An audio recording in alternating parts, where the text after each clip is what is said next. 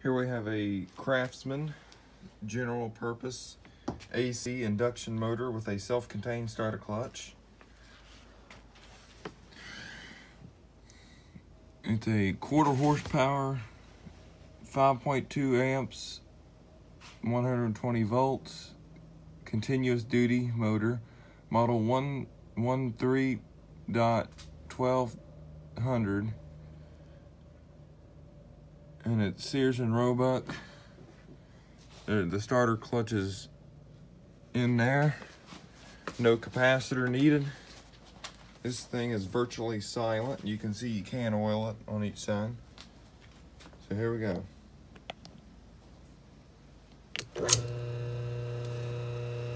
Nice and smooth. It's drawing 4.2 amps right now.